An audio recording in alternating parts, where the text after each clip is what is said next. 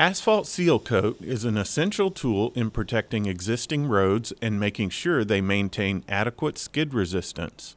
But there are times where the coated layer fails prematurely because of poor durability or when the seal coat is not compatible with the previously laid road.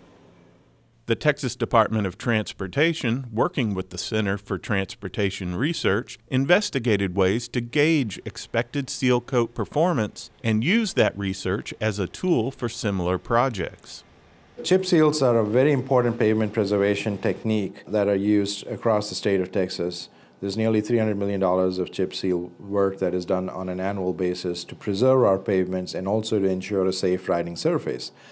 Now, the way chip seals work is that there's a thin film of asphalt binder or emulsion that is placed on the pavement surface, and aggregates, one layer of aggregates are placed on top of it, typically. And these aggregates need to glue with the asphalt binder surface underneath it. So, the purpose of this project was to make sure that we have a tool by which to assess whether or not the aggregates are bonding well with the asphalt binder surface underneath it. Seal coat is something that we do across the entire state. It's our mainstay, our, bed, our bread and butter for preserving the, the life of our infrastructure. Um, and we realized that we really didn't have any performance based testing uh, similar to hot mix uh, for seal coat. So this research project was looking at developing a test that measured uh, some performance. We didn't really have anything in specifically in mind when we did this. We just knew that we wanted a performance measure uh, for seal coat. Uh, as a part of this project, we developed some very simple tools that can be used by districts or contractors to assess the quality of the bond between the aggregate and the emulsion or the binder. And the, as next steps, we would like to see districts use these tools or this equipment and run these tests on a routine basis as a part uh, of their annual seal coat program to assess the quality of the materials that are being used in the field. We did a lot of lab testing and we developed some testing that we think shows promise that needs to be further developed in the field.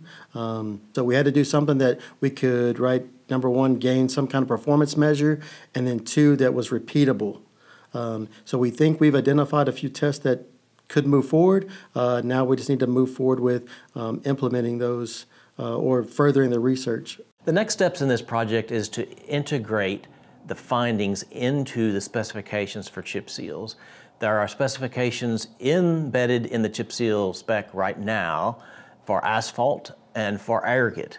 And this would tie the two together to measure compatibility of the two.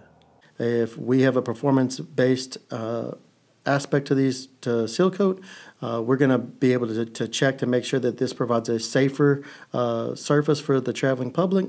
Uh, and secondly, it's going to be a cost savings. Typically, seal coats have a surface life about uh, serviceable life about seven years, and uh, uh, if you are able to extend the serviceable life or avoid premature failures, that translates into a lot of money saved. For more information and to find the publications for this project, please visit the TxDOT Research Library at the link shown below.